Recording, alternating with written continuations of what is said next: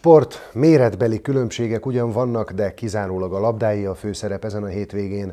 Szombaton 13 órától a megyei bajnokságban szereplő női kézisek a Zsigmundi csarnokban fogadják a Góna SKKE csapatát. Ugyanitt 15 órától az MB2-es férfi csapat a Komló U23-as gárdával játszik.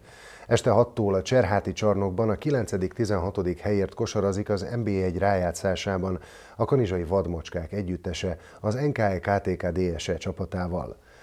16 órakor az olajbányászpályán a megyei bajnokság első osztályában küzdő két kanizsai foci csapat rangadója kezdődik. Vasárnap 11-től a Bolyai iskolában a sörgyár asztali teniszezői a szombathelyi AK sportiskola gárdájával pingpongoznak. 16 órától a megyei másodosztályban szereplő Miklósfai futbalisták a Becsehely csapatát fogadják.